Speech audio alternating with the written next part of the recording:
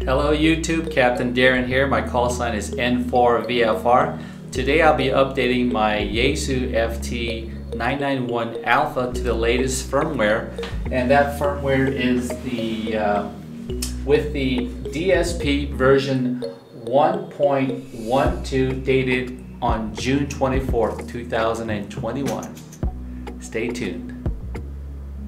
Alright, the first thing I'm going to do, I'm going to look at my current firmware that is installed and what I need to do is you first you need to push the A equal B button and the A slash B button together while you're powering on the unit. And it shows you right there that my latest firmware is version 2.01 my DSP and oh I missed it. It was so fast. Oh let me try this again. It, it was so fast I couldn't even read it in time. So I'm gonna power off the unit. Uh, push the A equals B and A slash B at the same time Alright, the main version is 02-01, DSP is V01-11, and the TFT is V02-0. Dang, missed it again. The first thing we need to do is we need to put the Yaesu 991A in the program mode. So what I need to do, I need to first turn off the power of the unit and then I have to come over to my power supply, turn that off. While that's off, I have to come back to my unit, okay? I need to hold down the transmit, it's called TXW, and the split. The other button here is called split. I need to push both of those buttons at the same time while powering the power supply to the unit, not the power supply that's on the Yaesu 991. I need to turn on the power on the power supply. That will enable the unit to go into program mode. So TXW and split at the same time, turn on the power supply, and that puts the 991A in the program mode. And if you try to turn on the power, it's not going to come on. You see? It doesn't come on. Now, while you're at the Yaesu website, you're at the 991A. You go into the file section, the files, and then down at the very bottom, that's where you find the amateur radio software. What I downloaded was the latest version, the FT991 all current firmware including the new update DSP version 1-12 dated 6-24-2020. The cable that you would need is uh, typically a, uh, printer cable a USB that you typically find on a uh, printer cable and also the other USB. So that's connected to my um, Windows laptop.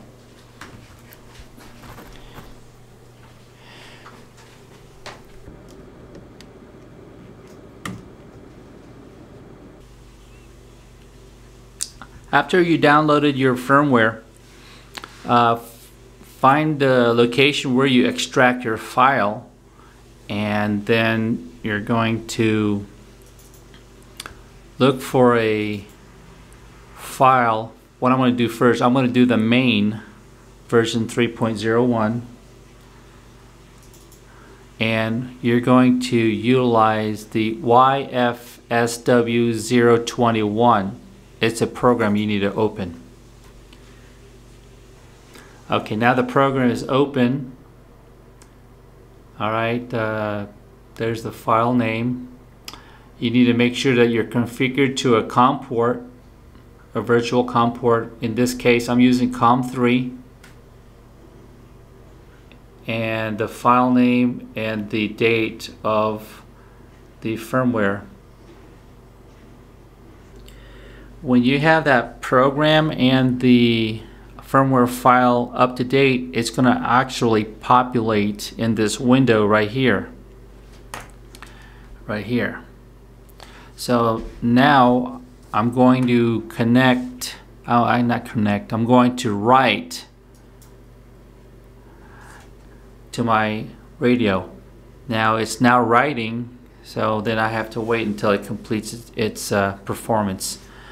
Down here on the right, you can see the progress of the upload of the firmware to the uh, Yaesu 991A. So let's just wait for that. This is my first attempt to actually update my firmware. Uh, I hope it all goes well and it doesn't lock up. The firmware version that I have on the main was version 2.01 so I am now updating it to um, uh, firmware version right here. It says right here you can't read it I know but it says version 3.01 75% complete. This radio that I bought I actually bought it used um, from one of the ham radio stores and I got a good price on it and last month or a couple of months ago I had a problem with my transmit so I had to service it in uh, California and it took a, a, while to get it back almost two months. That's why I bought a different radio. I, I bought an ICOM 7300 as a backup radio. Alright, so now what I got here, I got a OK question mark and I'm going to click on that OK. Uh, close, close it out. And let's take a look at the firmware. So I'm going to go back to the Yaesu radio and uh, double check if, if the firmware updated. Alright, now I'm looking at the face of the 991A. Um, I'm going to turn off the main power supply. I'm just going to wait a few seconds. Turn it back on. I'll hold down the A equal B and the A slash B together and power on the unit.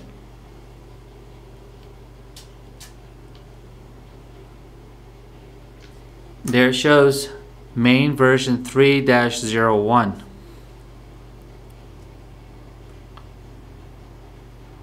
That's great. I updated my main uh, firmware. Next thing I will do is the uh, DSP. Uh, the version I have now is a 1-01 and a TFT version 2-0. So I'll record that and uh, show you that process as well. Okay, let's do this again. Let's power off the 991A, power off the power supply source, I just wait a few seconds. Okay, I will hold the TXW and the split buttons at the same time. Power on the power supply. Then release. I will attempt to write the um, firmware for the DSP. Uh, they said this firmware is the DSP is version 1-11 which I already have so I don't really need to update that. Um, so I'm going to skip on that one. Let me back out of here. Uh, the next one is a TFT. Here's TFT. Uh, version says 3-00. Alright, the one I have before it was called the TFT version 2.0 so I'll give that a try. Um, I'll click on the program here called TF TFW double click on that. It says an app on your PC needs to uh, needs the following Windows feature. So I'm going to go ahead and download that. Apparently my Windows laptop didn't have the required uh, program needed. So I'll let that download. Installing. Yay. I don't have a fancy laptop. It's just a Dell Inspiron 14 5000. It's not the fastest. I don't like Windows so much. I, I use mostly Mac, so it gets a little takes some time to get used to uh, working with Windows again. The problems that I see with the the new laptops nowadays, it only comes with two USB ports. Um, and if you're using one of the USB ports for your mouse, uh, like I got a mouse here, and it's hard, I can't see it. Uh, I got a mouse there, a Logitech, and it's taking up one of the USB ports. It's plugged in right there. And the other USB port there, that's going to be the cable that's going to be uh, connected to the radio itself to control the radio. All right, I did the successful install of the Net Framework. All right, I'm going to close that out. Uh, let's try to reinstall the TFT. All right, select a file, file select. This is the TFT version 3.00 and the one I have now currently installed is 2.0 so this is the right bin. Click on open and then update. I'm looking at COM3 okay waiting for update response. Hmm cancel that. Let me end that. It didn't work. Alright, try the TFT again. Or TFW. COM3 is what I'm using. Select the file. That's the TFT file. Click open. Update. Hmm. It shouldn't take that long. There's a there's a timer right here. It says it's been 18 seconds. Cancel. End. Okay. I think I found out why it didn't work on the uh, update of the TFT firmware. Yaesu manual says push the FM list, push the band and mode at the same time while powering on the unit. So push the F list the mode and band at the same time, power on the unit.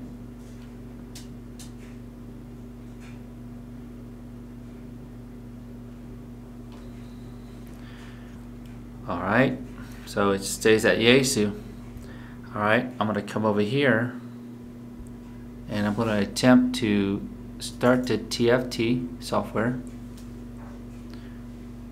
COM3, select the file, it's that bin file, click open, and then update.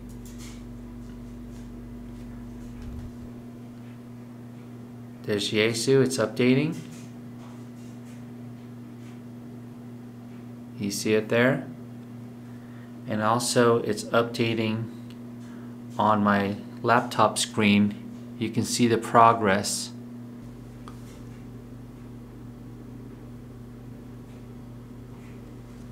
I'm dimming my monitor screen so you can see the Yaesu actually updating here and also the progress screen on the monitor here.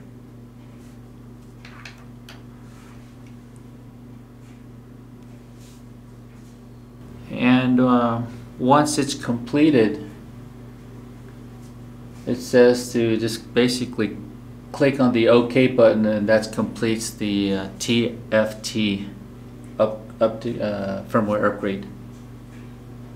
I know there's a lot of people out there that's uh, really kind of hesitant in upgrading their firmware but yeah if it if it ain't broken don't fix it if it ain't broke don't fix it right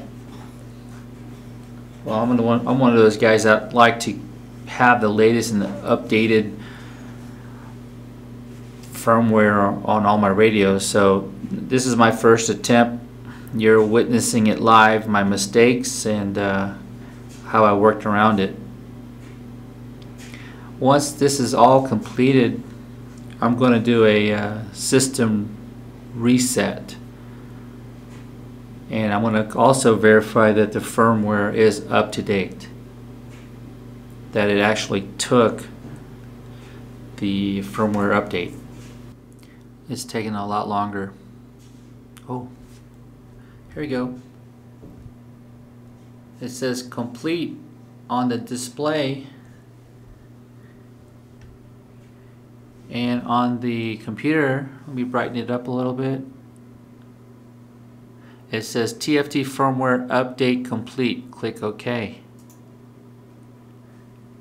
it's done and then I'm going to click end alright now that it's completed turn off the unit and then what I'm going to do is power on the unit itself. There's my call sign.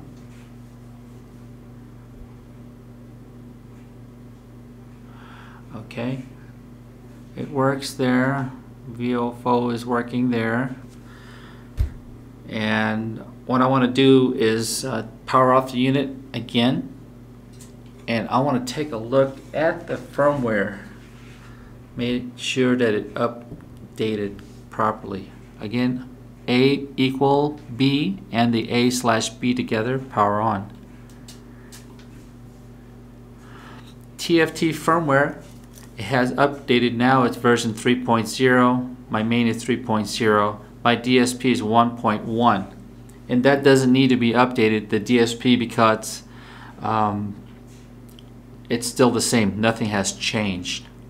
Now to do a reset, let me power off the unit. I'm going to hold FM list and power on.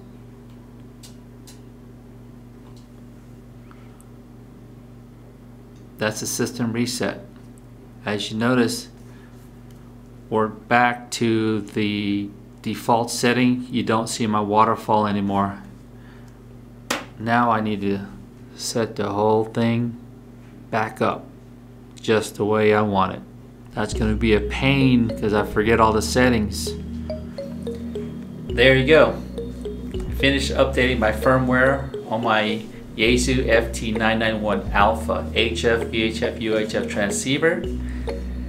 And uh, now it's the hard part. Since I did the system reset, I'm going to have to go through all those configurations and reconfigure my 991 just the way I had it. Um, having the little waterfall display and everything like that, uh, adjusting all my audio settings.